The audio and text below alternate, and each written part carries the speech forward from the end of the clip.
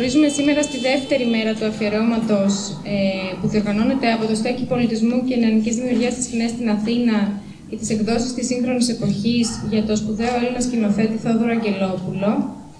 Ε, Εχθές είχαμε την ε, πολύ ενδιαφέρουσα παρουσίαση του βιβλίου του Λευτέρη Χαρονίτη «Μια εποχή, μήνες και σκέψεις σκόρπιες» με τον Θόδωρο Αγγελόπουλο. Ε, καλησπέρα και από μένα σύντροφοι και φίλοι. Όσοι ήσασταν χτες εδώ, παρακολουθήσαμε τη βιβλιοπαρουσίαση και την πλούσια συζήτηση που υπήρξε με αφορμή ε, και το βιβλίο του κύριου Χαρονίτη.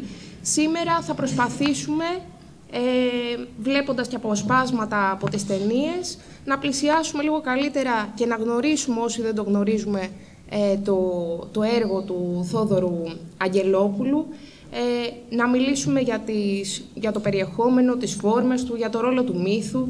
Και πριν ξεκινήσουμε όμως για το ρόλο του μύθου στις ταινίες του, ας αρχίσουμε με κάποιους μύθους που ίσως τους έχουμε και ειδικά ε, οι νέοι περισσότερο ε, καλύτερα στο κεφάλι μας, πιθανά και από το ίδιο το έργο του Θόδωρα Αγγελόπουλου. Το ξέρεις ότι βλέπεις μια ταινία του Αγγελόπουλου επειδή όταν, ξε... όταν ξεκινά κοιτάς το ρολόι σου και λέει 6 και τρεις ώρες μετά κοιτάς το ρολόι σου ξανά και λέει 6 και 5. Ήταν μια κριτική με βάση την σκέψη ενός ανώνυμου θεατή όπως την κατέγραψε ο David Jenkins στο περιοδικό Sight of Sound. Ας πάμε σε κάτι άλλο που πιθανά είναι και στις συζητήσεις μας ακόμα πιο έντονο. Το σινεμά του Θόδωρα Αγγελόπουλου είναι αργό, πολύωρο, βαρετό, δυσνόητο και κουλτουριάρικο. Ας μην δυσανασχετήσουμε όσοι βρισκόμαστε εδώ και ας παραδεχτούμε ότι σε ένα μεγάλο κομμάτι του κόσμου έχει περάσει συγκεκριμένη αντίληψη, αντίληψη που τον αποθεί εν τέλει να γνωρίσει το έργο του Αγγελόπουλου πριν καν το επιχειρήσει. Και φυσικά όταν λέμε κόσμο εννοούμε την πλειοψηφία, την εργατική τάξη και τα λαϊκά στρώματα, τους μεγάλους αποκλεισμένους εν τέλει από τη μεγάλη τέχνη. Α επιμείνουμε λοιπόν στην εξέταση των παραπάνω επιθετικών προσδιορισμών, όχι μόνο για το έργο του Αγγελόπουλου, αλλά και πιο γενικά. Οι ταινίες του λοιπόν είναι αργές. Η έννοια αργό είναι σχετική, εκφράζει μία σχέση. Αργό σε σχέση με τι; Είναι σίγουρα αργέ σε σχέση με τους καπιταλιστικούς όρους ζωής και με την ολοένα αυξανόμενη εντατικοποίηση της εργασίας. Μια ζωή που κινείται σε fast forward για να βγάλεις μεγάλο κομμάτι, όλο και μεγαλύτερο κομμάτι της παραγωγής μέσα σε συγκεκριμένο χρόνο, για να τρέξεις από τη μια δουλειά στην άλλη, να προλάβεις να μπεις στο καταναγκασμό του νοικοκυριού, να πληρώσεις γρήγορα τους λογαριασμούς πριν σου κόψουν το ρεύμα ή σου πάρουν το σπίτι. Και είναι πράγματι ένα αργό σινεμά συγκριτικά με τις ταινίες που ο καταιγιστικός τους ρυθμός διαδέχεται αυτό τον γρήγορο διαφημίσεων που έχουν σκοπό να κατανολωθούν όπως ένα οποιοδήποτε εν τέλει προϊόν. Και ναι, Αγγελόπουλο, Αιζεστάι, Ταβιάννη, κάθε μεγάλο έργο τέχνης στη μεγάλη οθόνη δεν μπορείς να το δεις ανάμεσα σε διαφημίσεις. Ας πάμε τώρα στον προσδιορισμό πολύωρο. Πράγματι, σε σχέση με ένα τρίλεπτο βίντεο του TikTok, ο Μεγαλέξανδρος είναι μια ταινία πολύωρη. Η λέξη πολύωρο, όταν πρόκειται για την απόλαυση της τέχνης στα πλαίσια του ελεύθερου χρόνου στον καπιταλισμό, είναι ούτως ή άλλως αποτρεπτική. Εκτός αν πρόκειται για την παρακολούθηση τριών, πέντε, εφτά σεζόν μιας σειράς σε, σε κάποια πλατφόρμα που σε κάνει ταυτόχρονα και σταθερό συνδρομητή της. Γιατί στον καπιταλισμό ο ελεύθερος χρόνος περιορίζεται σε μια λιγοστή ώρα, συνήθως πριν τον ύπνο σου.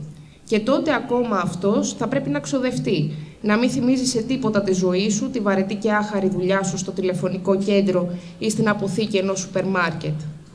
Α δούμε τώρα την έννοια δυσνόητο.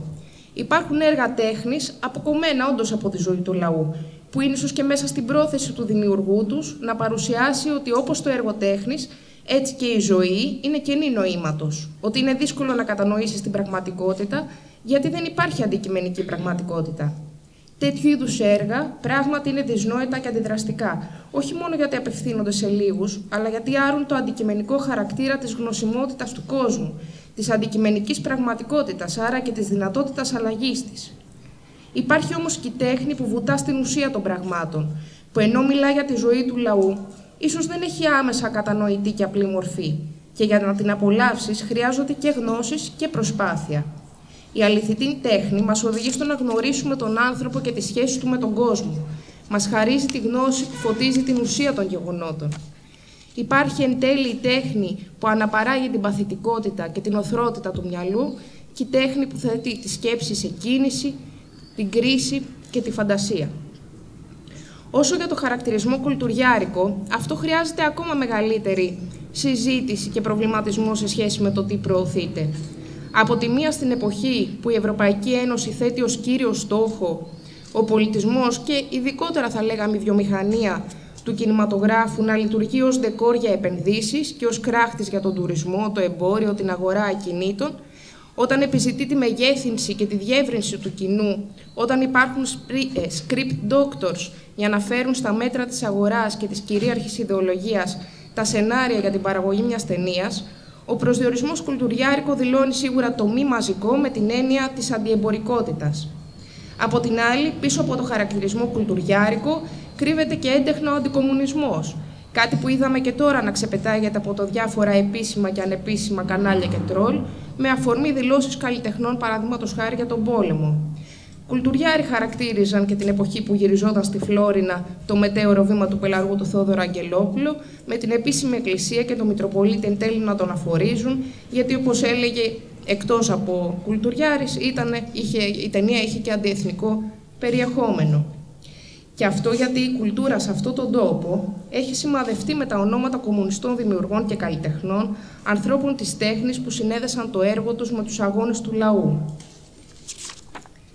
Βλέπουμε λοιπόν σε τελική ανάλυση ότι η ίδια η επαφή του λαού με το έργο τέχνης είναι ζήτημα επί της ουσίας πολιτικό και ιδεολογικό. Έχει να κάνει, όπως είδαμε, με το σύνολο της ζωής της εργατικής τάξης, άρα και με την ανάγκη της κοινωνικής απελευθέρωσής της. Στην εποχή όμως του υπεριαλισμού, δηλαδή του σαπίσματος του καπιταλισμού, με την παρασιτική αστική τάξη να έχει χάσει προπολού κάθε προοδευτικό στοιχείο, το σπουδαιότερο καθήκον που αναθέτεται από τα αστικά επιτελεία και τη βιομηχανία του θεάματος στον πολιτισμό είναι να προστατεύει και να διασφαλίζει την αποκαλούμενη κοινωνική συνοχή, δηλαδή να συμφιλιώνει την εργατική τάξη με το κεφάλαιο και να τη στοιχίζει πίσω από τους στόχους και τα συμφέροντά του. Σε αντίθεση, γιατί πάντοτε μιλάμε για δύο διαφορετικούς κόσμους, στο σοσιαλισμό-κομμουνισμό η τέχνη αντιμετωπίζεται ως μεγάλο μέσο διαπαιδαγώγησης και ανάπτυξης ολοκληρωμένης προσωπικότητας, εφόδιο αναγκαίο για τον κάθε εργάτη στο σοσιαλισμό να μετέχει στη διεύθυνση της κοινωνικής παραγωγής, στην εργατική εξουσία.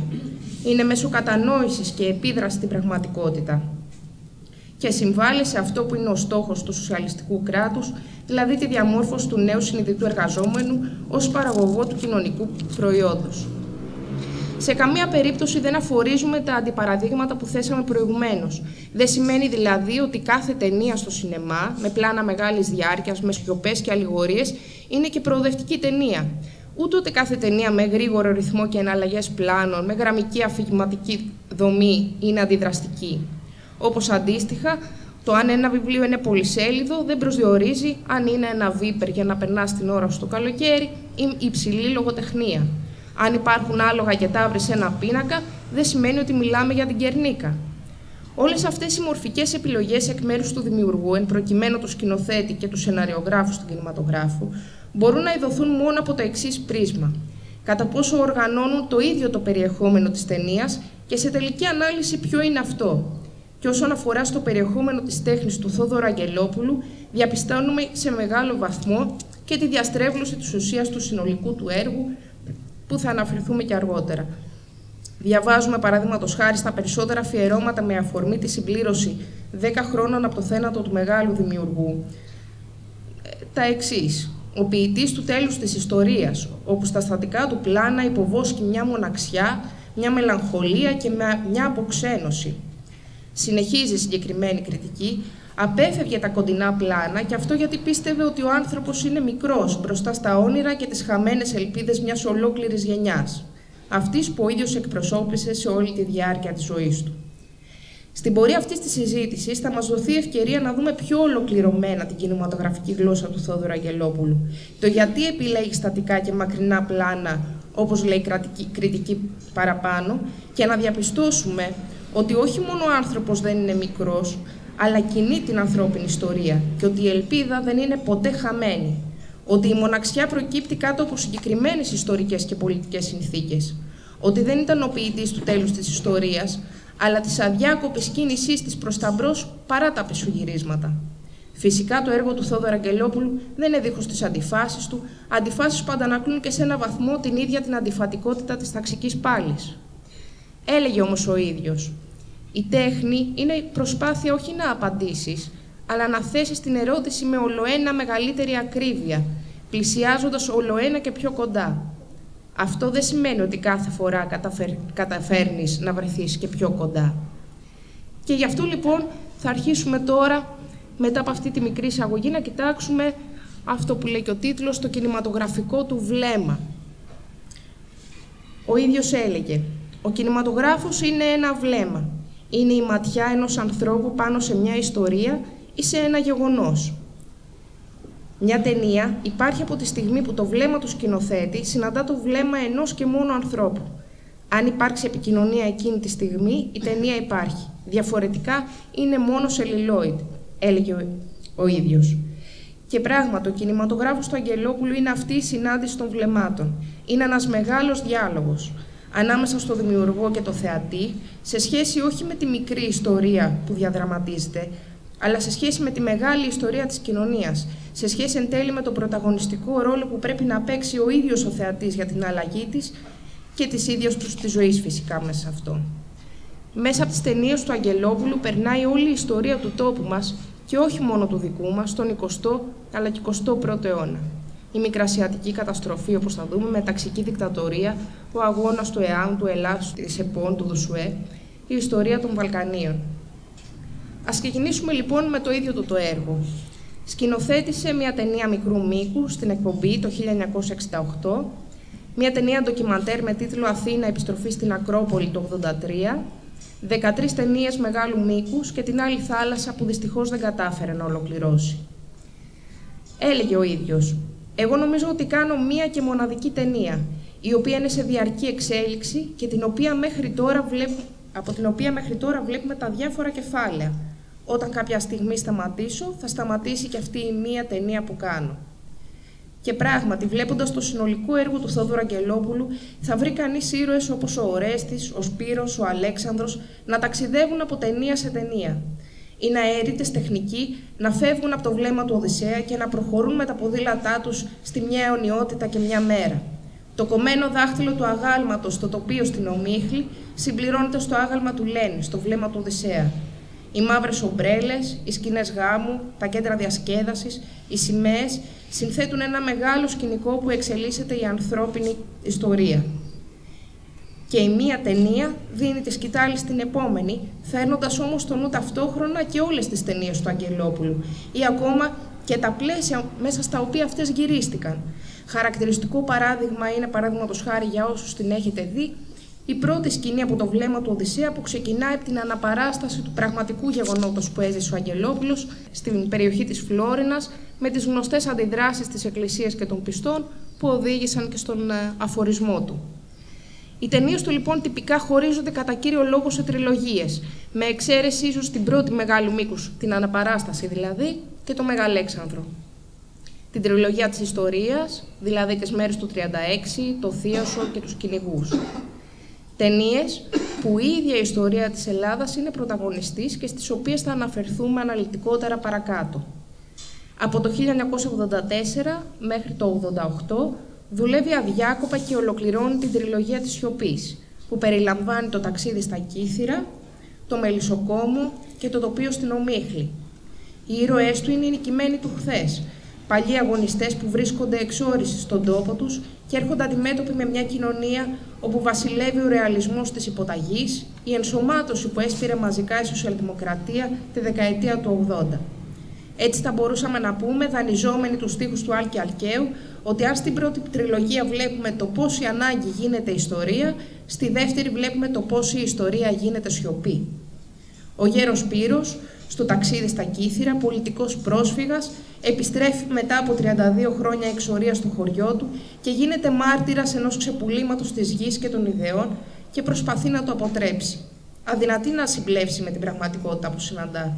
Διόλου τυχαία, κεντρικό χαρακτήρα συναντάμε το όνομα του πατέρα του Θόδωρα Αγγελόπουλου, Σπύρος. Η δε γυναίκα έχει το όνομα της μητέρας του, Κατερίνα. Για όσους δεν το γνωρίζουν, ο πατέρας του Θόδωρο Αγγελόπουλο είχε καταδικαστεί σε θάνατο στα Δεκεμβριανά και τον νόμιζαν για πολύ καιρό νεκρό μέχρι να εμφανιστεί χρόνια μετά. Αντίστοιχα, μια προσωπική ανάμνηση από τότε που ήταν παιδί και τον, όπως όταν τον κυνηγούσε ένας νεαρός Γερμανός στρατιώτης, θα αποτελέσει την πρώτη σε καν της ταινίας. Ο Σπύρος στο Μελισσοκόμο, συνεχίζει δηλαδή με το ίδιο όνομα, παλιός αγωνιστής και αυτός νιώθει αυτοεξόριστα στον τόπο του. Όμως τα παιδιά του τοπίου στην Ομίχλη, ταξιδεύοντας προς τα σύνορα, στην τρίτη του ταινία της τριλογίας, για τη μυθική Γερμανία, θα σκίσουν αυτό το περα, περαπέτασμα της ιστορικής Ομίχλης για να συναντήσουν τον ήλιο πίσω από τον ορίζοντα. Η επόμενη τριλογία, η τριλογία των συνόρων, αφορούσε τη σχέση της Ελλάδας με τις γειτονικές βαλκανικές χώρες μέσα στο ιστορικό φόντο των ανατροπών του σοσιαλισμού. Ξεκίνησε με το μετέωρο βήμα του Πελαργού το 1991, την ταινία που όπως είπαμε προηγουμένως οδήγησε στον αφορισμό από τον Μητροπολίτη Αυγουστίνο Καδιώτη. Συνέχισε με το βλέμμα του Οδυσσέα το 1995 και ολοκληρώθηκε με την αιωνιότητα και μια μέρα το 1998 που κέρδισε και το Χρυσό Φίνικα στο Φεστιβάλ των Κανών. «Αν κάνω ένα βήμα, είμαι αλλού ή πεθαίνω», λέει ο ήρωας από το μετέωρο βήμα, με το ένα πόδι να στέκεται πάνω στις δικλείς εθνικότητας γέφυρα. Όμως αυτό το βήμα, ένα βήμα εν τέλει πάνω στην ίδια την ιστορία και τη ζωή των λαών, δεν μένει απεσιόδοξα μετέωρο.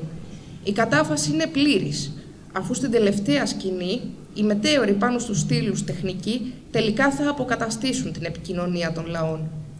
Το βλέμμα του Οδυσσέα αφηγείται το ταξίδι ενός Έλληνα σκηνοθέτη, του Α, Θεόδωρος Αγγελόπουλος δηλαδή του ίδιου, που γυρίζει από την εξορία και επιχειρεί να αναζητήσει τρεις χαμένες μπομπίνες φιλμ των αδερφών Μανάκη που έφεραν το κινηματογράφο στα Βαλκάνια στις αρχές του 20ου αιώνα. Το πρώτο βλέμμα δηλαδή στα Βαλκάνια.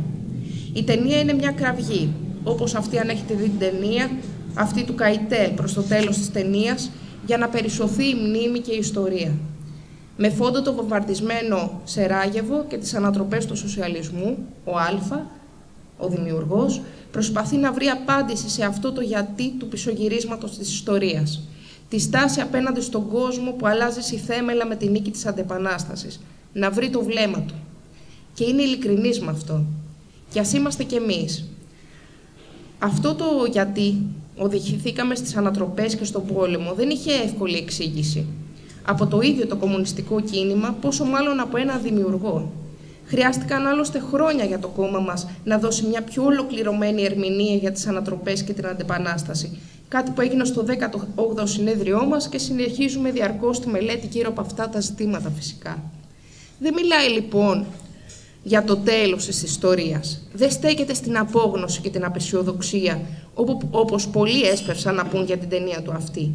Γιατί; Όπως ακούγεται στο τέλος της ταινίας, όπου οι ήρωες προχωρούν μέσα στην ομίχλη που δεν μπορούν να δουν τίποτα, το ποτάμι, το γνωστό ποτάμι αυτό στο Θόδωρο Αγγελόπουλο, προχωρά, ε, μπορούν να το ακούσουν. Και αυτό φτάνει για να είναι χαρούμενοι, παρόλο που δεν θα καταφέρουν να το φτάσουν και να το διασχίσουν. Δεν θα το διασχίσουν οι ίδιοι, θα το διασχίσουν όμως άλλοι. Η ελπίδα ακόμα και εκεί δεν χάνεται ποτέ.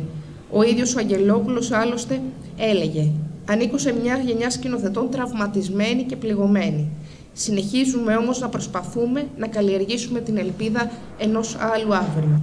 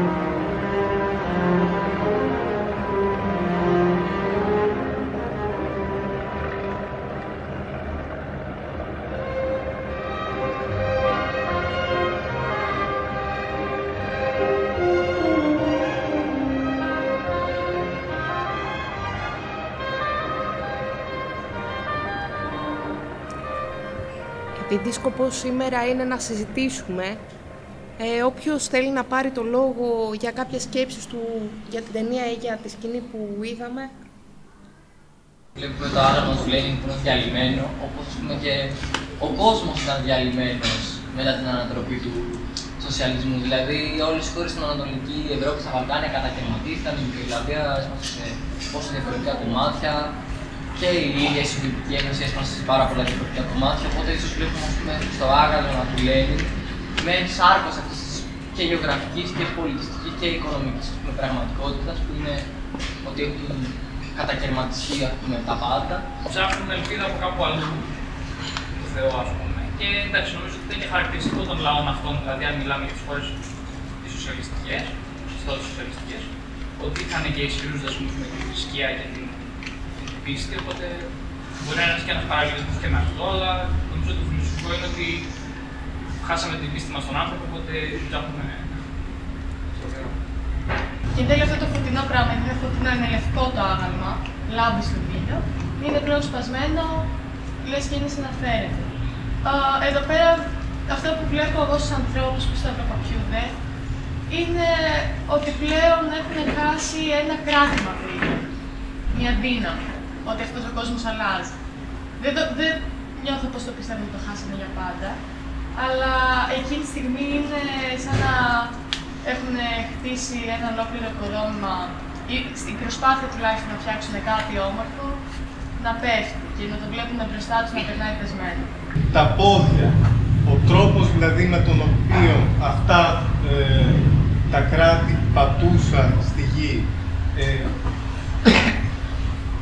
είχε αποκοπεί από το κύριο σώμα που ήταν ο λαός τον οποίο υπηρετούσε ή τέλος πάντων με κάποιον τρόπο χάθηκε αυτή η σύνδεση. Όπως επίσης χάθηκε η σύνδεση και των δύο με το κεφάλι που είναι οι ιδέες και με το χέρι που δείχνει την αγωνιστικότητα και τη διάθεση για αλλαγή. Πολύ θετικές παρατηρήσεις σε μια πολύ σύνθετη σκηνή όπως είναι αυτή εδώ που θυμίζει λίγο και το μια αναγωγή κάνω στο ταξίδι στα Κίττερα με το Σπύρο πάνω στο σάτι ανοιχτά στη θάλασσα που αναζητά πατρίδα, αναζητά ένα, τρόπο, ένα τόπο δηλαδή για να α, στεριώσει πάλι. Ναι, ε, πολλά μπορεί να πει κανείς, πάρα πολλά ας πούμε, γιατί είναι μια ε, ιδιαίτερα φορτωμένη ιδεολογικά α, ενότητα αυτή. Ε, πολλά είναι εδώ, καταγερματισμένος μεν, αλλά εδώ υπάρχει. Έτσι. Και το το ερώτημα που μπαίνει σε μένα πια είναι πώς ξανασυντίθεται αυτό το κατακαιρματισμένο. Πώς βρίσκει πάλι την, ε, το, έναν τρόπο, ας πούμε, ε, για να ε, αντιδράσει, ας πούμε, σε αυτό το. Οι λαϊκοί άνθρωποι αντιδρούν έτσι. Είναι βιωμένοι, βιωμένη η παράδοση μέσα τους, έτσι, να, να εκφραστούν σε αυτό το, το, το πρωτοφανές για αυτούς φαινόμενο της διάλυσης αυτής της ιδέας έτσι, την οποία αδυνατούν να πιστέψουν για να τρέχουν στο Σταυρό. Οι παρατηρήσεις αυτές ε, είναι πάρα πολύ σωστές, ε, εμπλουτίζουν τον προβληματισμό, ειδικά για αυτή τη σκηνή. Δηλαδή, αν μιλούσαμε σκηνή-σκηνή όλη την ταινία, θα γράφαμε ένα βιβλίο ολόκληρο ας πούμε, με τις παρατηρήσεις αυτές, οι οποίες έχουν βάση, έχουν ε, σημασία. Βλέπετε, οι ταινίες του Αγγελόπουλου, επειδή είναι και εξαιρετικά όμορφα αυτά τα πλάνα, αυτός, αυτή η ποιητική διάσταση δηλαδή στο έργο του Αγγελόπουλου, η οποία είναι και μια ηθική διάσταση ας πούμε, ε, λειτουργεί, περνάει στον κόσμο. Δεν λέγεται τίποτα σε αυτά τα πλάνα που είδαμε. Είδαμε 5-6 πλάνα, μια ενότητα, δεν λέγεται τίποτα, όμως λέγονται χιλιάδες πράγματα. Και η θέση της κάμερας συνήθως στις ταινίες του West της Σερβαζέ ήταν σαν να είσαι μέσα ένας, σαν να είσαι ένας από τους ε, ήρωες της ταινίας. Είναι που μείναμε ώρα, θα το Δηλαδή υπάρχουν αρκετά πλάνα τα οποία κάθεσαι και παρατηρείς εσύ ο ίδιος το τι γίνεται μέσα στο χώρο. Δεν έχει το άγαλμα το τριματισμένο σορδιασμένο σε ένα... Σε ακινησία. Σε ακινησία. Σε ένα κινητό περιβάλλον. ναι. Κινείται. Όσο για το σταυρό, το, το σταυροτοποιούνται οι άνθρωποι. Υπάρχει και η περίπτωση να είναι μια αντίδραση μπροστά στην, στο δέος της στιγμής. Θα πω ένα πολύ σύντομο παράδειγμα, το οποίο είναι καταγεγραμμένο. Στα τέλη του 49, ο Οδυσσέας Ελίτης έφυγε από την Ελλάδα για τη Γενέβη. Κατεβαίνοντας για το αεροδρόμιο, πέρασε από, με το αυτοκίνητο από κάτι οικόπεδα, τα οποία παίζαν παιδάκια. Τα οικόπεδα ήταν μέσα στο χάλι το μαύρο, τα παιδάκια ξυπόλυτα, ρακέτητα, πεινασμένα κτλ. Και γράφει. Το ίδιο απόγευμα ήμουν στη Γενέβη και όπως περπατούσα, ακούω πίσω μου κραυγές. Γυρίζω και βλέπω ελβετόπουλα που γύριζαν από την υπασία. Και συνεχίζει. Ήταν τέτοια η αντίθεση που ήθελες πιο πολύ να προσευχηθείς παρά να ουρλιάξεις. Και προσθέτει, μετά την Αλβανία, τον πόλεμο, ήταν η δεύτερη φορά που βρέθηκα τόσο κοντά στο λαό μου. Έτσι γεννήθηκε το Action ST. Έτσι, έτσι, έτσι γεννήθηκε το Action ST. Και τελειώνει το κείμενο αυτό που γράφει αυτή την, αυτό το βίωμα στη συνείδησή μου έσταξα λεμόνι. Θέλω να πω δηλαδή ότι το σταυροκόπημα ήταν πολύ σοβαρές οι παρατηρήσεις των συντρόφων. Είναι και αυτή η αντίδραση. Μπροστά στο δέος να αντιδράσει κάποιος με έναν τρόπο που έχει κοινωνικά προσλάβει αιώνες. Η πλειοψηφία όμως δεν κάνει καν αυτό το Απλά ακολουθεί με σιωπή, με υπομονή, με λαχτάρα μήπως χάσει την περπατησιά της για να τον συνοδεύσει, όχι να συνοδεύσει κάποιον συναδέλφο, να συναδεύσει ένα κεφάλι που είναι όρθιο και ένα χέρι που εξακολουθεί να δείχνει. Κατ' εμέ εκεί είναι η ελπίδα ε, σε αυτή την ταινία και είναι πολύ σημαντικό να την δούμε ολόκληρη για να δούμε όλη αυτή την επιμονή του πρωταγωνιστή να μην αφήσει την ιστορία να πάει καμένη, να ψάξει να βρει τις αρχές της, να τις ερμηνεύσει, να ξαναζωντανέψει, να παραδώσει στο κοινό πράγματα που ανήκουν στο λαό και πρέπει να τα παραδώσει σαν τέτοια. Σίγουρα νομίζω ότι όλες οι παρατηρήσεις, εννοείται και οι σκέψεις, κάπως εννοώ προσεγγίζουμε σε μια πιο ολοκληρωμένη ακόμα και αυτή την μικρή σκηνή που είδαμε. Ε, και νομίζω ότι ακόμα και ένα, πώς να το πω, που κάποιος δεν, που κάποιος το είπε πριν, ε, που ίσως άμεσα δεν μπορεί να νιώσει, δεν έχει ζήσει ή δεν έχει αντιληφθεί το τι έγινε με τις ανατροπές. Αν μη τι άλλο βλέπει το ότι γυρνάει προς τα πίσω. Δηλαδή η θέση του Αγγελόπουλου είναι ότι είναι ένα πισωγύρισμα, δεν είναι η θέση που πήραν οι νικητές. Ε, ότι προχωρά με, την ελευθερία προς τα μπρος ε, και ο καπιταλισμός ε, θα φέρει το, το καινούριο. Νομίζω επίσης ότι βλέπουμε ότι τα παιδιά στις όχ, υπάρχουν παιδιά στις όχθες που κινούνται, τρέχουν όπως το, όπως το είπατε και εσείς και υπάρχει και αυτή η σχέση που όταν βλέπουμε από τη μεριά εμείς του κόσμου που τρέχει στην πραγματικότητα τον Λένιν, σαν να τον ξεπροβοδίζουμε κι εμείς και από την άλλη υπάρχει και ο τρόπος που βλέπει ο Λένιν τον κόσμο. Ε, και σίγουρα άρα ακόμα και σε αυτούς ε, τους υποστηριχτές ότι ήταν μια επιβολή ε, το σοσιαλιστικό καθεστώς που δεν είχε σχέση με τις μάζες αναδεικνύει ότι είναι ο δικός τους, δικός τους άνθρωπος. Ε, νομίζω ότι πολλά όντως θα μπορούσαμε να πούμε.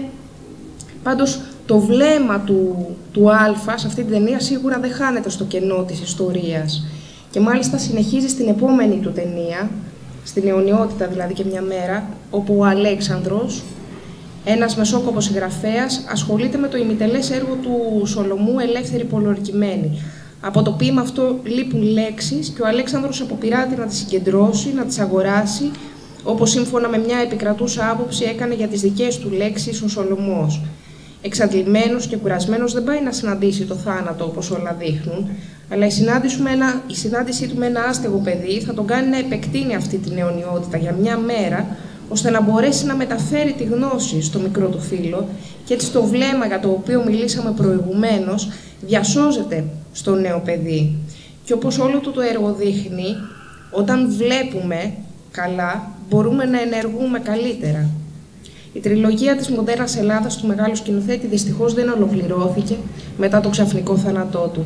Η τριλογία ξεκίνησε το 2004 με το λιβάδι που δακρύζει, όπου μια ομάδα ξεριζωμένων Ελλήνων της Οδυσσού φτάνει σε ένα βαλτότοπο της Ελλάδας που ορίζεται ένα ποτάμι που τον διασχίζει και οι πρόσφυγες εκεί στεριώνουν έναν οικισμό προσπαθώντας να ξαναχτίσουν τη ζωή τους.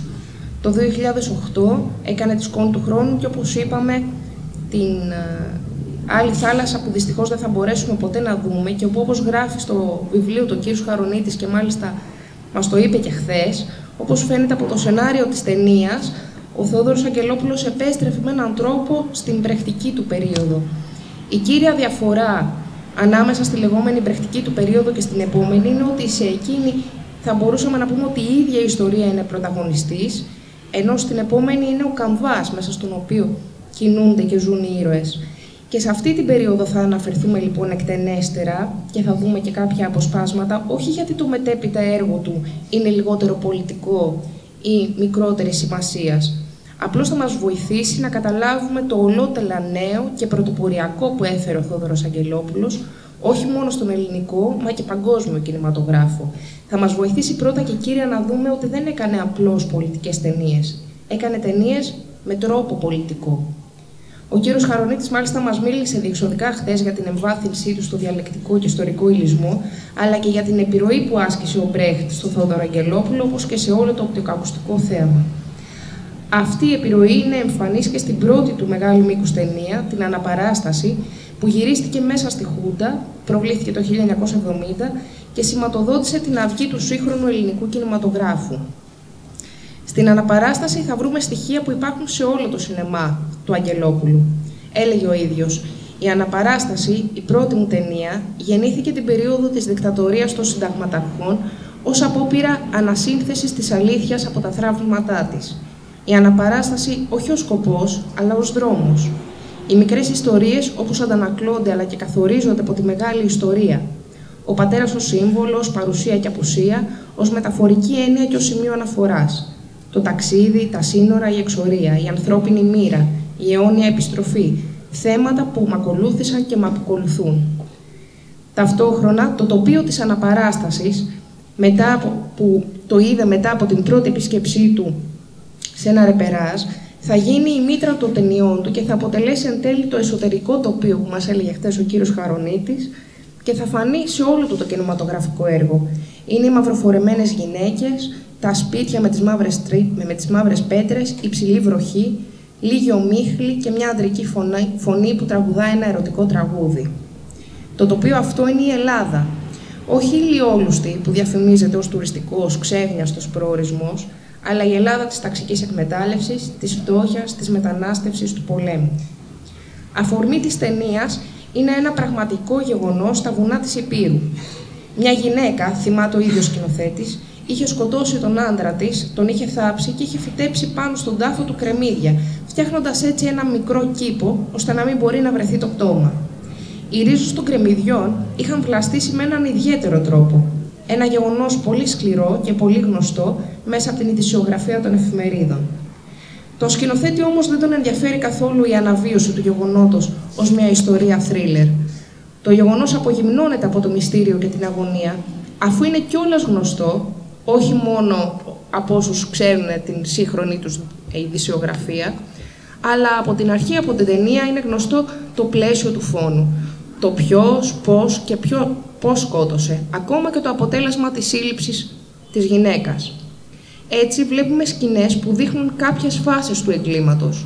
Το θάψιμο του πτώματος, η εκδρομή άλοθη στα Γιάννενα, τις επαναλαμβανόμενες ανακρίσεις του εισαγγελέα και της αστυνομίας οι οποίες έχουν ως σκοπό να αναπαραστήσουν το γεγονός, για να ξεκαθαρίσουν ποιος από τους δύο, η Ελένη δηλαδή η σύζυγος ή ο Χρήστος, ο αγροφύλακας και εραστής της, έσφιξε τη θηλιά στο λαιμό του θύματος, του Κώστα Γούση, μετανάστη από τη Γερμανία που είχε έρθει να επισκεφθεί το χωριό του.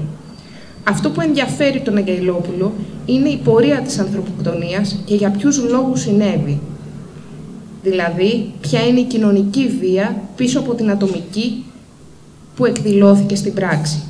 Ας δούμε ένα απόσπασμα που εμφανίζεται μάλιστα ο ίδιος Αγγελόπουλος ως δημοσιογράφος που καλύπτει δημοσιογραφικά το φωνικό. Αυτό είναι το κομμάτι της ανάκρισης. Και φαίνεται ο Αγγελόπουλος Φυσικά δεν πρόκειται για απλό ρεπορτάζ. Έρευνα είναι. Ετυμφαία τη 8 Τετάρτου 70, ενώπιον εμού του αστυνομικού σταθμάρχου Μεσοχωρίου, παρουσιάστηκε η Ελένη Γούση, σύζυγος Κώστα Γούση, 35 ετών, οικοκυρά χριστιανή Ορθόδοξος και ομολόγησε αυθορμήτω τα εξής. Την 7η Τρίτου 70, ευρισκομένη στο παλαιό Ετυμφαία σπίτι μου, μετά του σύγχου μου Κώστα Γούση, παρεξηγηθήκαμε μαζί μας για λόγους ηθικής. Επειδή η κουνιάδα μου λαμπρινή του είπε ότι εγώ δεν ήμουν εντάξει απέναντί του. Στη συζήτηση αυτήν, αυτός μου έλεγε ότι είχα φίλο. Και έτσι πιαστήκαμε. Τότε μου επετέθηκε με μια σιδεριά από το παράθυρο, με χτύπησε στο κορμί μου. Από αυτή την κατάσταση πήρα μια τριχιά και τον έπνιξα. Μετά πήγα στον κήπο του σπιτιού μου και τον έθαψα. Για την πράξη αυτήν μετανοώ, αλλά είναι αργά. Άλλο τι δεν έχω να προσθέσω και γράμματα γνωρίζω. Δηλαδή, κυρία Ανακριτά, στην αρχή τα πήρε όλα πάνω της. Ναι, αλλά. Αλλά μας το ήδη γνωστή η συνενοχή του αγροφύλακα. Με κατάλληλη υπομεταχείρισή του εκ μέρους των ανακριτικών οργάνων, αποσπάσαμε και την ομολογία του. Δηλαδή, απομονώσαμε τον αγροφύλακα και του είπαμε πως η γυναίκα θεωρεί ως μόνον αίτιον του εγκλήματος μόνον αυτόν. η γνωστή, η κλασική μέθοδος. Τώρα κατηγορεί ο ένας τον άλλον, καθώς είδατε. Ε, κάτι ακόμα κύριε Νακριτά. Η άποψή σας σχετικά με τα αίτια. Όλοι λένε ότι το θύμα ήταν πρότυπο καλού οικογενειάρχου, τίμιος εργατικός και ότι αυτός τελικά δεν αποτελούσε εμπόδιο στη σχέση της γυναίκας. Ω μόνη αιτία του εγκλήματος πρέπει να θεωρήσουμε τον ακόλαστον χαρακτήρα της κατηγορουμένης. Από μια άποψη παρατήρησης σωστή. Είναι ακατανόητο. Ο σύζυγος, η ανεκτικότητα του. Λοιπόν, ακατανίκητη ροπή προς το έγκλημα ή ταπεινές οικονομικές αιτίες. Διότι υπάρχει και αυτή η εκδοχή. Εν πάση περιπτώσει πρόκειται για άτομα ανυπάρκτηθικής υποστάσεως. Με τα παιδιά της θα γίνει. Φασίστηκε. Κατόπιν συνενέσεως με τους συγγενείς της, τα δυο μικρά θα κλειστούν στο ορφανοτροφείο. Για τη μεγάλη κόρη προσεφέρθη κάποιος μεγαλέμπορος από τα Γιάννενα. Η πειρέτρια ή κάτι τέτοιο. Το σπίτι θα κλειστεί και θα πουληθεί από τα αδέλφια της.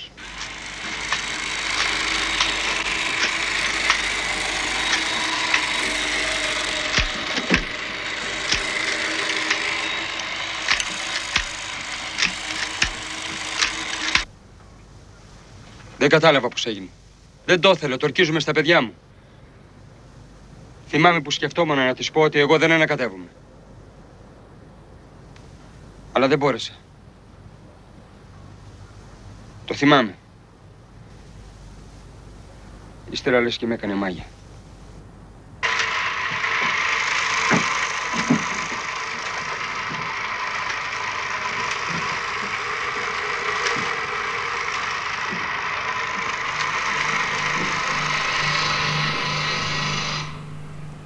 Να δούμε και το επόμενο.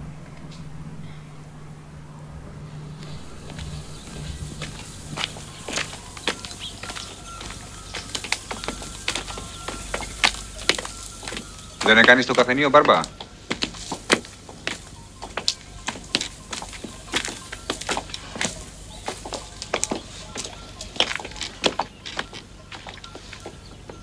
Τσιγάρο.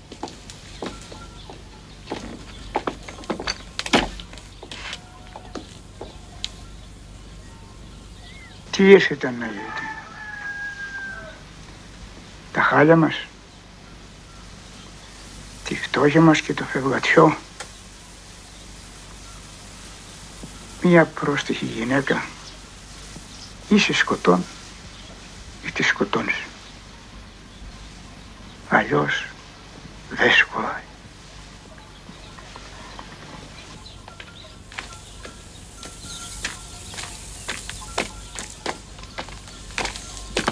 Είμαι ο πρόεδρος του χωριού. Χαίρομαι πολύ. Χαίρομαι πολύ.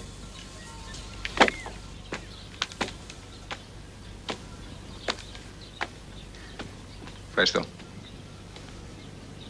Όχι, ευχαριστώ.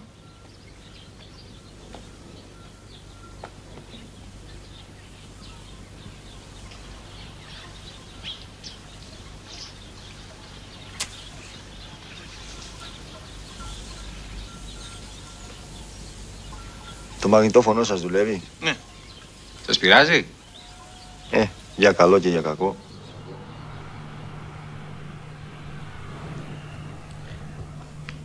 Να κάνουμε πάλι ένα μικρό διάλογο πριν προχωρήσουμε. τη σκέψη σας, πιθανά θα έχετε δει και την ταινία για τις σκηνές που είδατε.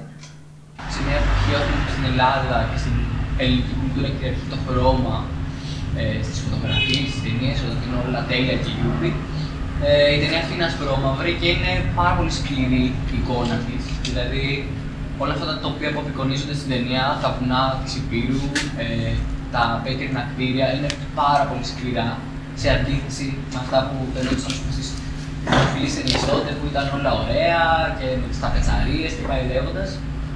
Ε, και πραγματεύουν ουσιαστικά πούμε, αυτή την εικόνα της Ελλάδας που κρύβανε και ακόμα κρύβουν κάτω από το χαλί. Δηλαδή, όλα αυτά τα χωριά τα οποία έχουν αδειάσει, λέει και ο παππούς εδώ το φιδιό μας, ε, που έχουν αδειάσει λόγω της μετανάστευσης ε, στην υπόλοιπη Ευρώπη. Πράγματι, εδώ βλέπουμε ότι οι κάτοικοι του χωριού, κυρίως γυναίκες και παιδιά, αφού οι άντρες έχουν φύγει μετανάστες, όπως μας είπε και ο σύντροφος, δεν γνωρίζουν τι σημαίνει πραγματική ζωή, έρωτας, ανάπαυση, τρυφερότητα, συζήτηση και έχουν, φαίνεται, την ίδια άγρια ερημιά όπως το τοπίο, στο οποίο βρίσκονται. Και ο πραγματικός αίτιος του φωνικού είναι όντως η ταξική βία. Και η απάντηση σε αυτή αναλογιζόμαστε εμείς ως θεατές ότι μόνο τέτοια μπορεί να είναι. Αυτό όμως δεν απεικονίζεται στην ταινία. Προκύπτει μέσα από τη δική μας παρατήρηση των συμπεριφορών και του κοινωνικού πλαισίου που τις καθορίζουν. Ο Αγγελόπουλος αυτή την ταινία δημιουργεί ένα τριπλό διάλογο Ανάμεσα, όπως είδαμε, στην έρευνα του ανακριτή που ήρθε από την πόλη, στην έρευνα μιας ομάδας δημοσιογράφων που φτάνουν εκεί για αυτόν τον σκοπό, όπως είδαμε και από. φαίνεται και ο ίδιος ο σκηνοθέτης που ερμηνεύει έναν τέτοιο ρόλο, και την άποψη του αφηγητή που από τη μία προσθέτει και άλλα στοιχεία στην αναπαράσταση των άλλων δύο. Έτσι λοιπόν καλούμαστε να εξηχνιάσουμε και εμείς την, την υπόθεση με τη διαλεκτική όμως μέθοδο της ανάλυσης και της σύνθεσης. Δηλαδή, για να καταλάβουμε τα πραγματικά αίτια, πρέπει να αναλύσουμε συνεχώς το γεγονός, να καταλάβουμε κάθε κομμάτι του και να το ξανασυνθέσουμε ύστερα και να το δούμε όπως ήταν στην αρχή, με την εξής όμως διαφορά. Τώρα, στο τέλος της ταινίας δηλαδή, το καταλαβαίνουμε πιο βαθιά. Δεν έχουμε μείνει δηλαδή στην πρώτη γενική εικόνα. Αυτό είναι το βλέμμα του θεατή που ζητάει το βλέμμα του Θόδωρου Αγγελόπουλου και που με αρχή την αναπαράσταση, όπως θα δούμε και στη συνέχεια, χαρακτηρίζει και τις υπόλοιπες ταινίες του. Βλέπω λοιπόν δεν σημαίνει κοιτάζω, σημαίνει πρώτα απ' όλα να συνθέτω μια εσωτερική εικόνα. Α δούμε αυτή την κυκλική αφήγηση που ανέφερα, δηλαδή το πώς στο τέλος ξαναβλέπουμε την ίδια εικόνα όμως με ποιοτικότερο τρόπο, στην ίδια την ταινία. Η ταινία ξεκινά με το πλάνο, θα σποιλάρουμε τώρα. η ταινία ξεκινά με το πλάνο της επιστροφής του πατέρα, που αργότερα θα δολοφονηθεί, όπου βλέπει τα παιδιά για πρώτη του φορά. Πώς σε λένε, ρωτάει ο πατέρας το μικρό παιδί και το μικρό παιδί αφού το απαντήσει, το ρωτάει αντίστοιχα εσένα και μετά πέφτουν οι τίτλοι αρχής. Μάλιστα αυτή η σκηνή, όπως έχει πει ο ίδιος, την έχει εμπνευστεί από την επιστροφή του πατέρα του και τη σιωπηλή συνάντησή τους μετά από χρόνια που τρώγανε γύρω από ε, το τραπέζι. Το φινάλε λοιπόν της ταινίας επιστρέφει ακριβώς στην αρχή, πριν τελεστεί δηλαδή το φωνικό. Βλέπουμε πάλι την επιστροφή του πατέρα, αυτή τη φορά όμως η κάμερα δεν παρακολουθεί μέσα στο σπίτι το, ε, το τι γίνεται, αλλά απ' έξω, σαν να βρισκόμαστε πίσω από τον κήπο που αργότερα θα φυτευτούν αυτά τα κρεμμύδια. Έτσι, η απόσταση με την οποία είδαμε την αναπαράσταση του γεγονότος και όχι το ίδιο το γεγονός, ολοκληρώνεται στο τέλος, έχοντας ως θεατές κάνει ένα ποιοτικά ανώτερο άλμα στη σκέψη μας για τα αίτια του φόνου, δηλαδή την ταξική εκμετάλλευση, την καταπίεση, πλευρές του γενικού ζητήματος, όπως μας είπε ο σύντροφος. Βλέπουμε δηλαδή το ίδιο πράγμα, αλλά πλέον έχοντας τη γνώση, το βλέπουμε αλλιώς στην ουσία του, όχι στην περιγραφή του. Και αυτό ενεργοποιεί τη δική μας θέση, όχι μόνο ως θεατές, αλλά ως προσωπικότητες που επενεργούν στην κοινωνία για την αλλαγή της.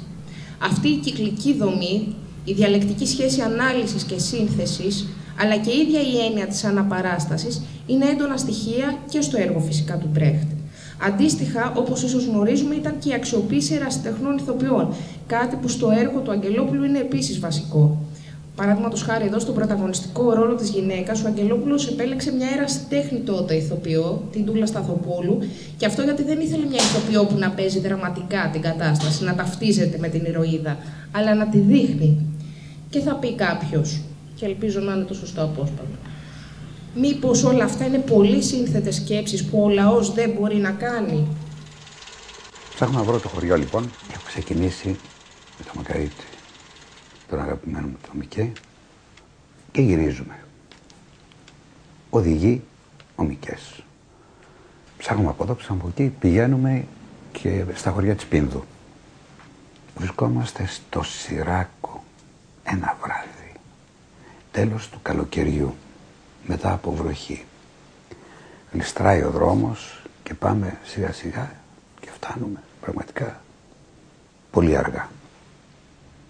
Έχει τελειώσει κάποια γιορτή στο χωριό. χωριό είναι ένα εκπληκτικό χωριό, πέτρινο, αλλά τόσο καλοδιατηρημένο που ε, έμοιαζε σαν να είναι ε, σχεδόν τουριστικό. Παρ' όλα αυτά δεν ήταν. Είχε μόλις τελειώσει η γιορτή που κάνουν οι βλάχοι για το τέλος του καλοκαιριού και ετοιμαζόντουσαν με τα κοπάδια να κατέβουν κάτω στον κάμπο. Ε, έχουν, ηλεκτρικό δεν υπήρχε, οι λάμπες έχουν, σβήνανε μία-μία ε, στα σπίτια, αλλά το καφενείο ήταν ανοιχτό. Μπαίνουμε μέσα στο καφενείο και μας κοιτάζει ο καφετής λέει, παιδιά, από πού έρχεστε εσείς, πού βρεθήκατε εδώ; Εν τω μεταξύ, ο Μικές είχε αγανακτήσει βέβαια. Λέει, ένα, ο κύριος Αγγελόπουλος λέει, ψάχνει να βρει ένα χωριό και τα λοιπά και έχουμε φάει τον κόσμο. Δηλαδή, λέει, μου λέει ο καφετής, μην μου πεις ότι είσαι Αγγελόπουλος. Εγώ σκέφτηκα ότι ήταν, θα έλεγε για τον άλλο τον Αγγελόπουλο, τον τραγουδιστή, τον το Τζιγκάνο. Λέω, που αποκλείεται να με ξέρει τώρα, πού να με ξέρει αυτός ο άνθρωπος εδώ. Λέω, είμαι, λέω, Αγγελόπουλος, εγώ, λέει, ξέρω, κάνεις ταινίες. Ναι. Λέει, τις έχω δει όλες. Λέει, και πού τις έχεις δει όλες. Λέει, στην Πρέβεζα. Γυρίζει σε ένα μπάρμπα. Στο βάθος του καφενείου ήταν μια σόμπα. Και το υψόμετρο, το, κρύο, το βράδυ έκανε κρύο.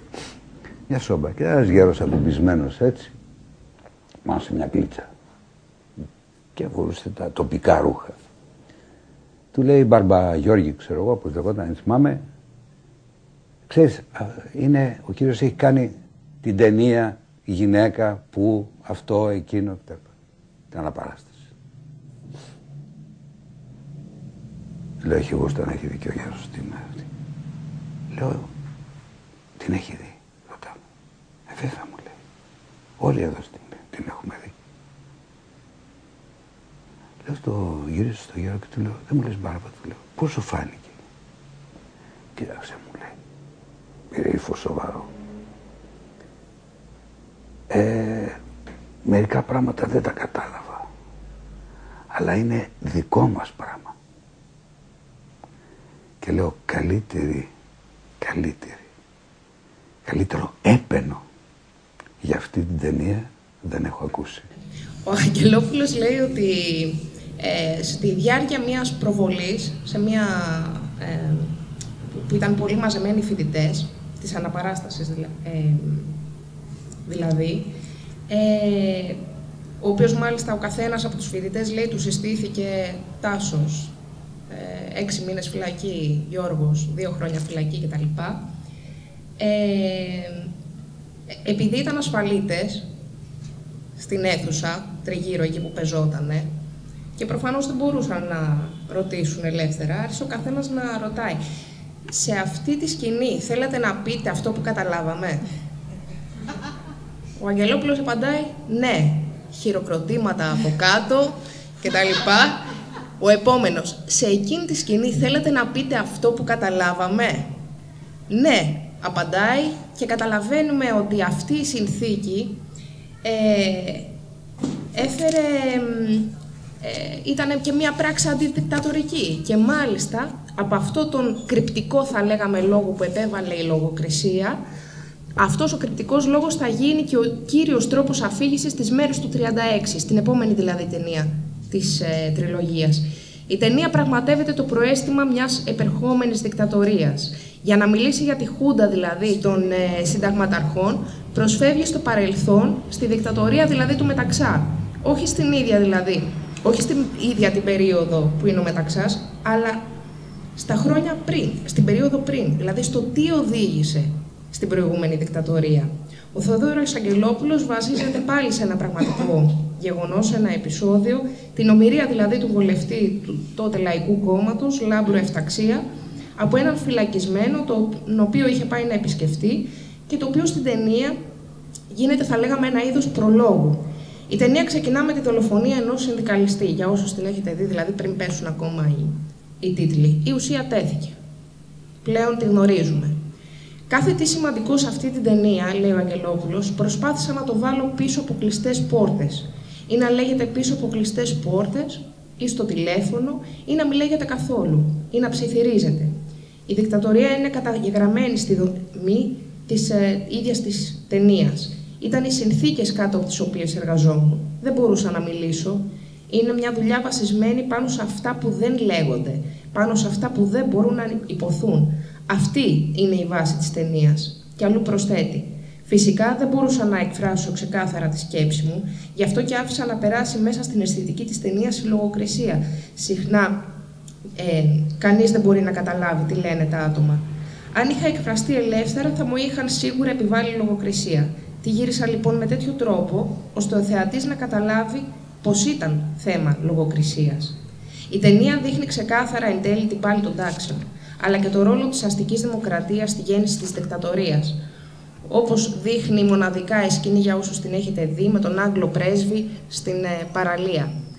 Αυτή η αντίθεση ανάμεσα στους που εκφράζεται σε επίπεδο εικόνας ε, στους πολιτικούς κρατούμενους στη φυλακή και στην αντιδραστική αστική τάξη φαίνεται από την καταπληκτική σκηνή που θα παρακολουθήσουμε.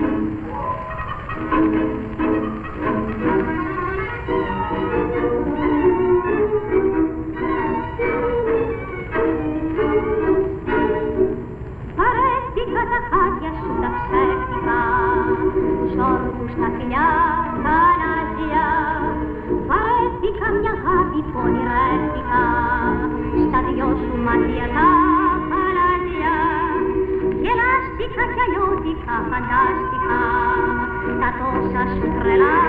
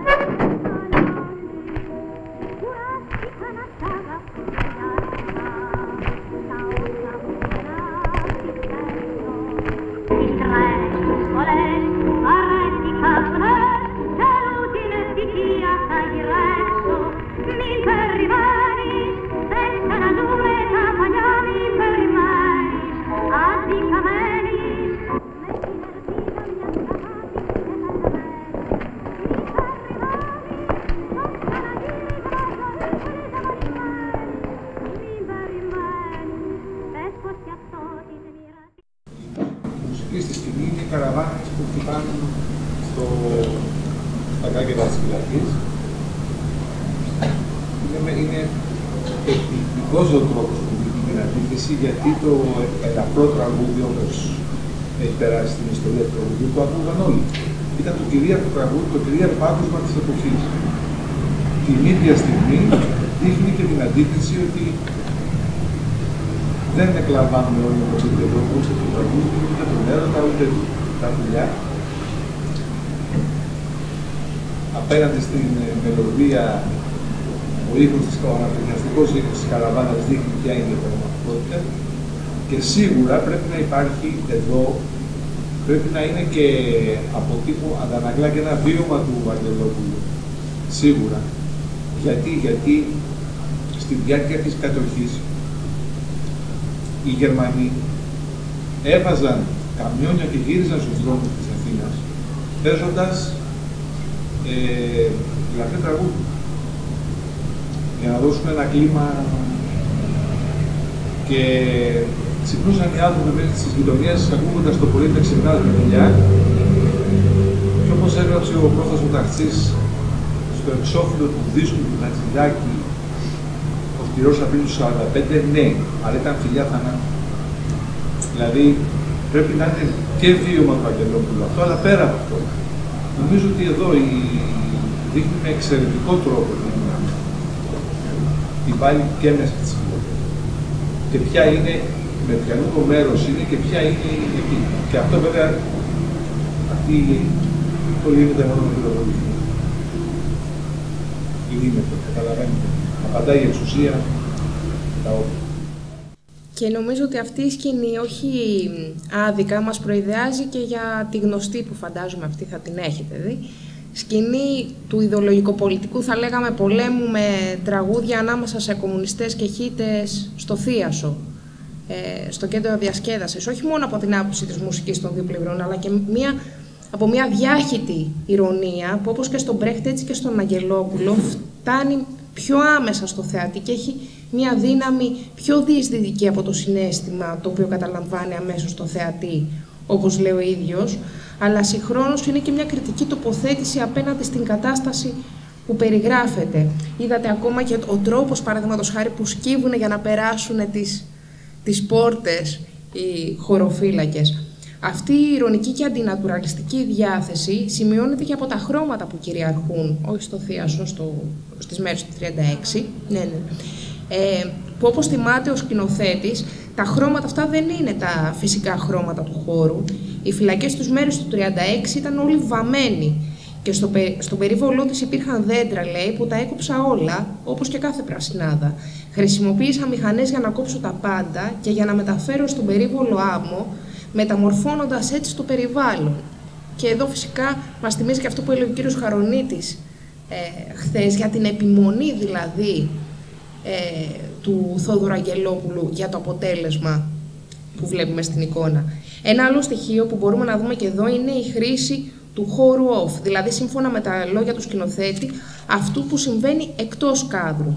Όπως διαβάζουμε μάλιστα και σε μια ανάλυση του έργου του, το άδειο κάδρο που συχνά ολοκληρώνει τις αφηγηματικές σεκάνς στις μέρες του 36, όταν η δράση δηλαδή έχει πια τελειώσει και οι ήρωες βγαίνουν από το κάδρο, είναι πρώτα απ' όλα ένα άλλο από τα μέσα με τα οποία ο Αγγελόπουλος προσπαθεί να καταστρέψει την εντύπωση του πραγματικού, παρουσιάζοντας τη δράση σαν σε μια θεατρική σκηνή. Και δεύτερον, η μέθοδος με την οποία ο σκηνοθέτης εξαφανίζει για να μεταχειριστούμε την ορολογία του Μπρέχτ την ένταση που αφορά στην έκβαση και δημιουργεί την ένταση που αφορά στην πλοκή.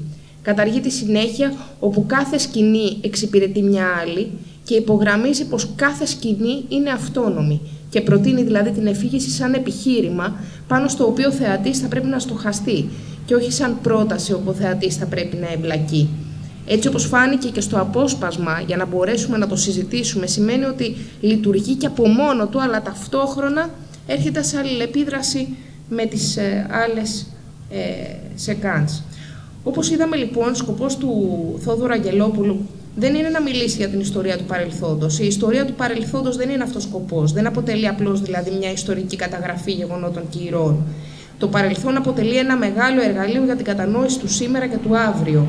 Η μνήμη μας βοηθά να διαβάσουμε το παρόν, το οποίο είναι δυσερμήνευτο. έλεγε ο ίδιος. Εξάλλου, ο Θόδωρος Αγγελόπουλος δεν είναι ιστορικός. Είναι ένας ποιητής της εικόνας. Και εμείς καλούμαστε να μην μείνουμε θεατές της ιστορίας. Έτσι, και μέσα από τις ταινίες του, δεν μαθαίνουμε την ιστορία. Προϋποθέτει να έχουμε τη γνώση αυτής, για να καταλάβουμε βαθύτερα όχι μόνο το έργο του, αλλά και την αιτία των πραγμάτων. Αυτή τη διαλεκτική σχέση ανάμεσα στο παρελθόν, το παρόν και το μέλλον, κατάφερε με αστοριθματικό τρόπο να την αποδώσει αισθητικά και καλλιτεχνικά στο θίασο. Το θέμα του θιάσου είναι η ιστορία της Ελλάδας από το 1939 μέχρι το 1952. Σε αυτό το διάστημα, δηλαδή από το τελευταίο φθινόπωρο της κυβέρνησης Μεταξά, ε, δηλαδή τη δικτατορία που γεννήθηκε μέσα στις μέρες του 1936, την προηγούμενη ταινία, ως το πρώτο φθινόπωρο της κυβέρνησης Παπάγου που αναλαμβάνει την εξουσία το 1952. Μέσα σε όλη την ταινία θα δούμε την Ιταλική επίθεση, τη Γερμανική εισβολή, την επέμβαση των Άγγλων, τη δράση του ΕΑΜ και του ΕΛΑΣ, τη συνθήκη του Λιβάνου, τα Δεκεμβριανά του 1944, το δημοψήφισμα του 1946, τη συμφωνία της Βάρκιζας, τον εμφύλιο, την επιβολή του δόγματος Τρούμαν, τις εκλογές του 50, του 52, τις εξορίες, τα βασανιστήρια, την τρομοκρατία. Υπάρχουν επίσης ευρύτερες αναφορές, όπως τη μικρασιατική καταστροφή, αν θυμόσαστε σε έναν από τους τρεις, τον πρώτο μονόλογο της ταινίας, αλλά και στη δικτατορία των συνταγματαρχών που συμβαίνει όταν γυρίζεται φυσικά ο θείασος. Ο τρόπος αφήγησης της ιστορίας, δηλαδή της ιστορίας εν τέλει του παρόντος και όχι του παρελθόντος, γίνεται αριστοτεχνικά και για πρώτη φορά με μια τρεπλή επί της ουσίας επίπεδα αφήγηση, όπου το μυθιστορηματικό, δηλαδή η γκόλφο, το βουκαλικό δράμα που παίζει ο θείασος, ε, είναι από τη μία, από την άλλη είναι η ζωή τους, δηλαδή η αναβίωση του μύθου των Ατριδών και η ίδια ιστορία. Αυτά αλληλοσυμπληρώνονται και ταυτόχρονα αλληλοκαλύπτονται, δημιουργώντας έτσι την αίσθηση ενός συνεχούς διακηρυκωμένου κύκλου. Και εδώ βλέπουμε σαφώς αυτή τη σύνθετη, θα λέγαμε, αποστασιοποίηση, στην οποία αναφερθήκαμε νωρίτερα. Ο Αγγελόπουλος αξιοποιεί, παραδείγματος χάρη, το μύθο με παρόμοιο τρόπο όπως ο Μπρέχτ, Έλεγε ο ίδιος, ζούμε σε έναν πολιτισμό που έχει κληροδοτήσει αυτούς τους μύθους και πρέπει να τους δώσουμε ανθρώπινη διάσταση. Δεν δέχομαι τη μοίρα ούτε την ιδέα του πεπρωμένου. Μπαίνοντας ο μύθος στην ιστορική πραγματικότητα, γίνεται πραγματική ιστορία με μια διαφορετική διάσταση. Γιατί ο άνθρωπος φτιάχνει την ιστορία και όχι ο μύθος. Και αλλού προσθέτει και μια άλλη πλευρά της χρησιμότητας του μύθου, ειδικά που θα δούμε στο θείασο. Τα κίνητα των προσώπων είναι διαφορετικά. Οι ιδέες που τα κινούν είναι οι ιδέες ενός άλλου ιστορικού χρόνου. Είναι η ιστορία που επεμβαίνει στα πρόσωπα και τα αλλοιώνει, τα μεταλλάσσει. Υπάρχουν αντιφάσεις μέσα στα πρόσωπα, αλλά δεν φτάνουν σε ένα επίπεδο ψυχολογίας. Οι πράξεις τους δεν ερμηνεύονται μέσα από ένα ψυχολογισμό. Κρατάω, έλεγε, τα πρόσωπα λίγο σχηματικά, σαν σημεία αν θέλετε. Και αυτό με βοηθάει να καθορίσω περισσότερο τα ιστορικά πλαίσια μέσα στα οποία κινούνται. Ο Αίγιστος, παραδείγματος χάρη, αντιπροσωπεύει στην ταινία τον οπαδό της 4η Αυγούστου, που μετά περνάει σε μια ψευτοσυνεργασία με τους Γερμανούς και που μέσα του λειτουργεί η έννοια εξουσία αφού αναλαμβάνει τη διεύθυνση του Θιάσου μετά το θάνατο του Αγαμέμνονα. Αν επιχειρούσα να του βρω κίνητρα, θα έκανα ένα ψυχολογικό έργο πάνω στις αιτίες που οδήγησαν τον Αίγιστο να είναι έτσι. Πράγμα που δεν με ενδιαφέρει. Στο Θείο ο Αγγελόπουλος πηγαίνει ακόμα πιο βαθιά όσον αφορά τη διαλεκτική σχέση χώρου και χρόνου, αλλά και τη σχέση, όπως είδαμε, παρελθόντος παρόντος. Όλη η προσπάθειά μου είναι κινηματογραφικά, έλεγε τουλάχιστον, να εγγράψω το παρελθόν ως παρόν και όχι κάτι το απομακρυσμένο που δεν μας αφορά, ως κάτι που συνυπάρχει με το παρόν μας και όχι ως κάτι που το έχουμε προσπεράσει και βρίσκεται πίσω μας. Σε μεγάλο βαθμό αυτό ενισχύεται με το διαλεκτικό μοντάζ και τη λειτουργία του πλάνου σεκάνς του τόσο χαρακτηριστικού στο, στο έργο. Να δούμε το απόσπασμα το άλλο. Εδώ βλέπουμε την έναρξη της ταινίας. Το έργο που θα σας παίξουμε απόψε, εις πράξεις 5, είναι το αθάνατο ιδηλιακό δράμα του Σπυρίδωνος Περεσιάδου «Γκόλφο η Βοσκοπούλα». Με θίασο εκλεκτό ηθοποιούς σπουδαίους, παλιότερους και νέους. Ο έρωτας της Γκόλφος τραγικός. Βαθιά μες στην καρδιά σας θα μιλήσει και ο θάνατός της θα σας συγκινήσει. Εσκλαβωμένε, λάε βασανισμένε,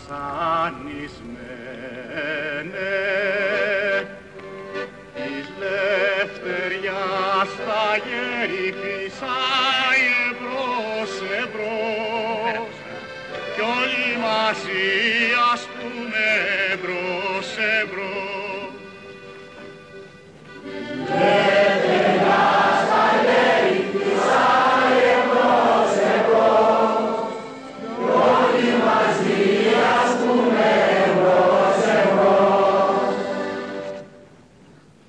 Αντάρτες ελασίτες, τσάκιστε τα δεσμά της σκλαβιάς, της λευτεριάς καμπάνα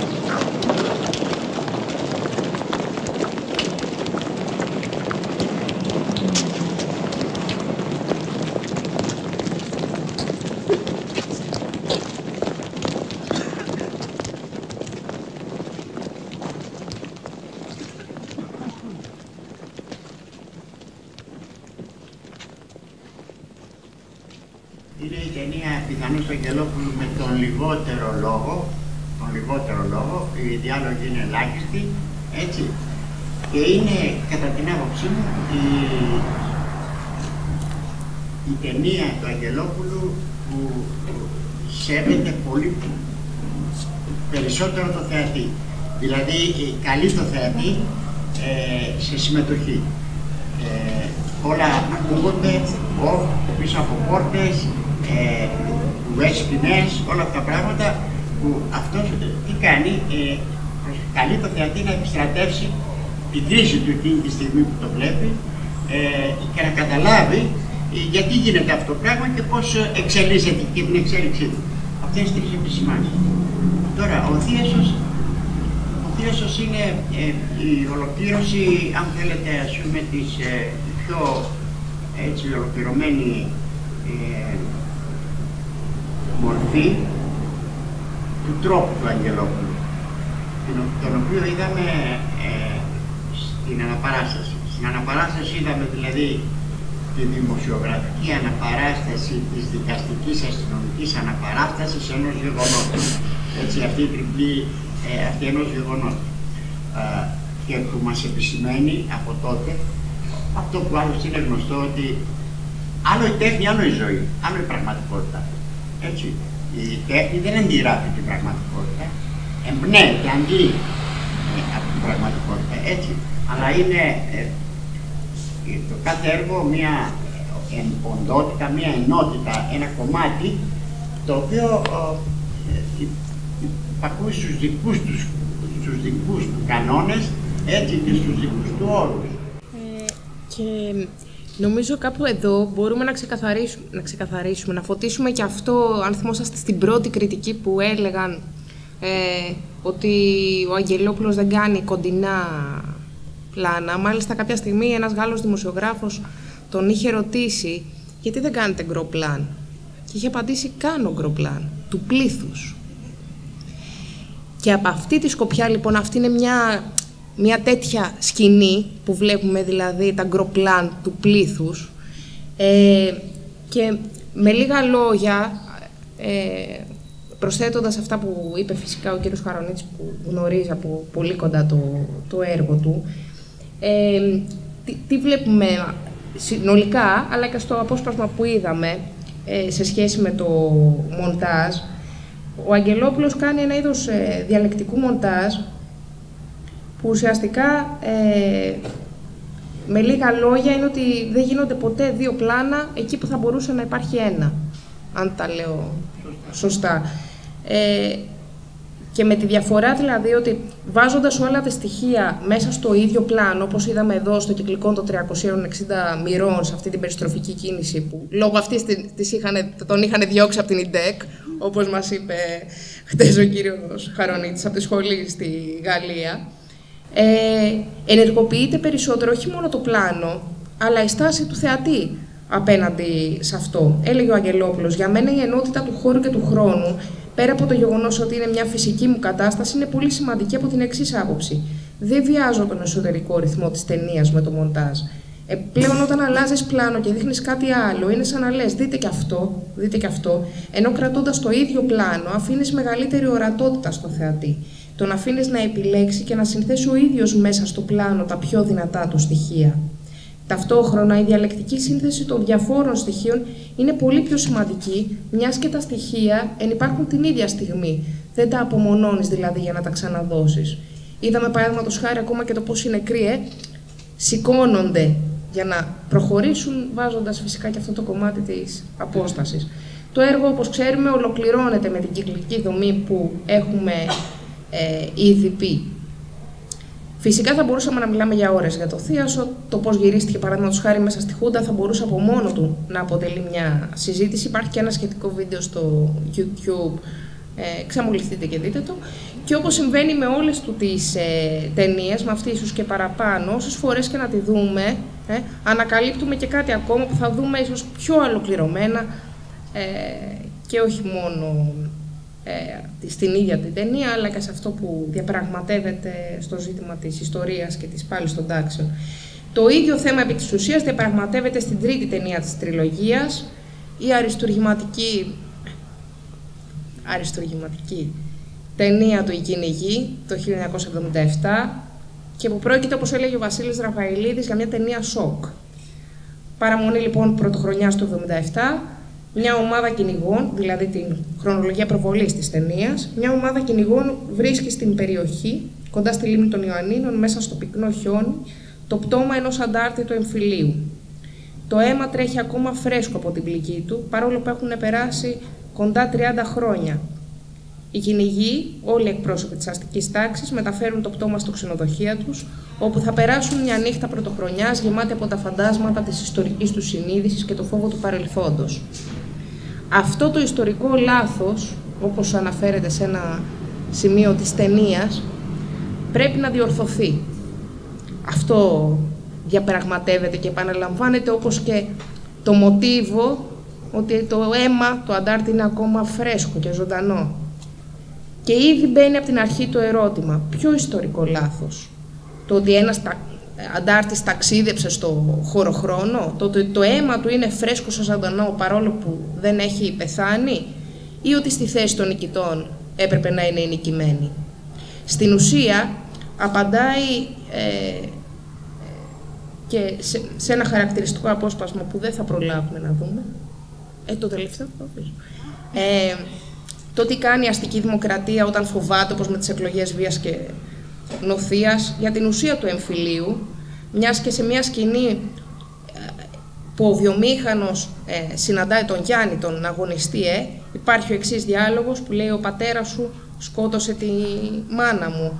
Ε, ο, ε, ο πατέρας μου, το απαντάει ο βιομήχανος, ε, σκότωσε τον πατέρα σου. Αδελφοκτόνος λοιπόν ή ταξικός ο εμφύλιος. Η απάντηση δεν φανερώνεται από αυτά που λένε. Φανερώνεται από το ποιος λέει τι. Από τη θέση που έχει ο καθένας. Ο ένας είναι ο κομμουνιστής, αγωνιστής, ο άλλος βιομήχανος. Τα πρόσωπα λοιπόν δεν έχουν ονόματα. Είναι ο ξενοδόχος, ο βιομήχανος, ο εκδότης, ο πολιτευτής, ο εργολάβος, ο στρατιωτικός, ο εισαγγελέας, ο βουλευτής και ούτω καθεξής. Και οι γυναίκες τους. Απέναντί τους ο νεκρός, ερωτηματικό, αντάρτης και ο αγωνιστής Γιάννης. Έτσι μιλάμε για τύπους, μιλάμε για τάξεις, μιλάμε για το σήμερα, όποτε και να προβληθεί η ταινία. Ο Αγγελόπουλος καταπιάνεται με μαεστρία, τρυπώνοντας στα σπλάχνα το θέμα που διαπραγματεύεται, αναλύοντας και άλλες πλευρές. Παραδείγματος χάρη ακόμα και το ρόλο της εργατικής αριστοκρατίας και του οπορτουνισμού.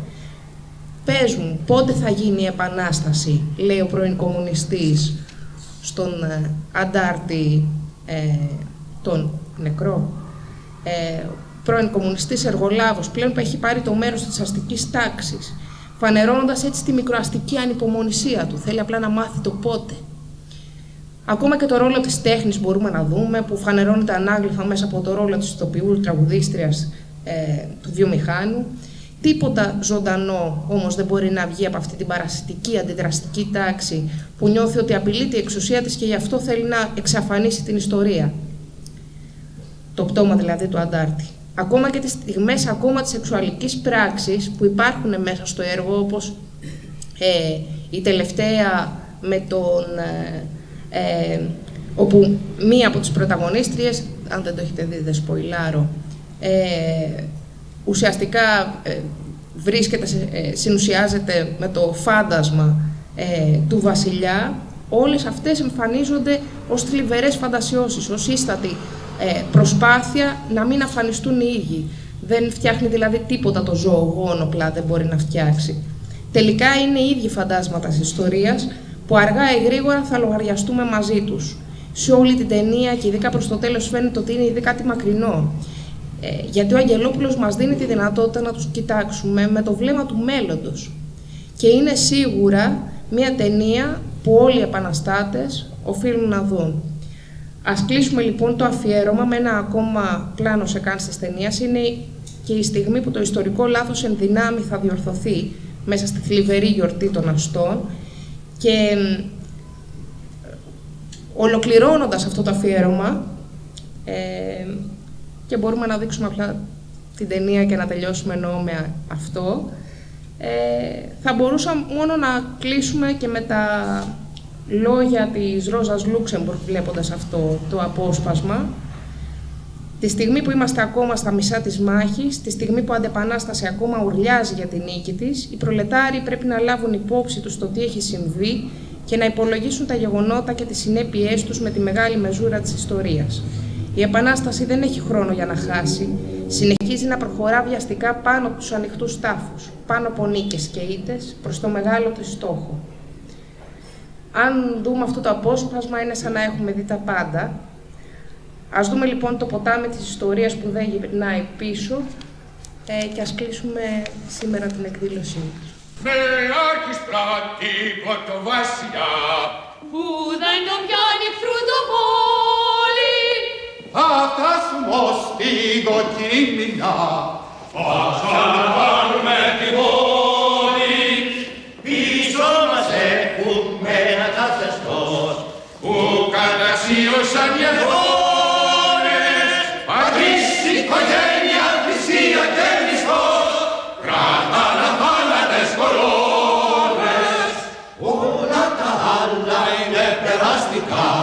Γράφουμε εμείς την ιστορία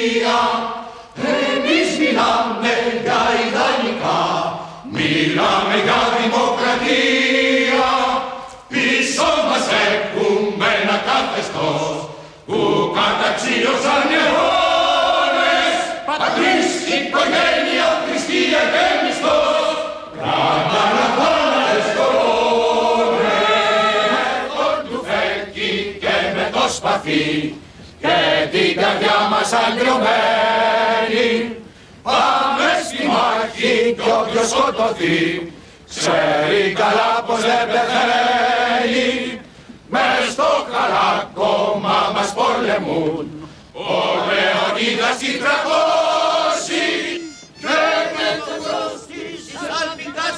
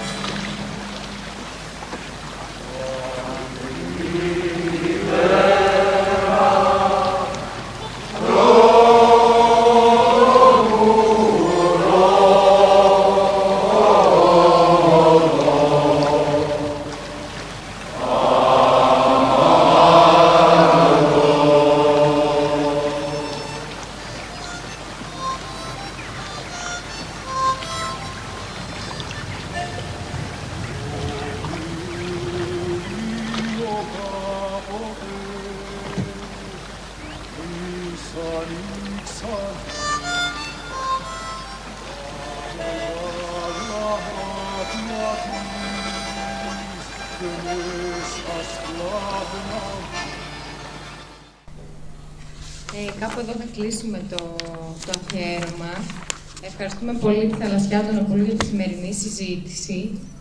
Και ευχαριστούμε πάρα πολύ τον κύριο Λευτέρη Χαρονίτη που ήταν μαζί μας και χθες και σήμερα σε αυτό το αφιέρωμα. Ε, στο χώρο έχουμε και την έκθεση βιβλίου από τις εκδόσεις της σύγχρονης εποχής και εννοείται την έκδοση ε, του κ. Χαρονίτη που μπορείτε να πραγματευτείτε.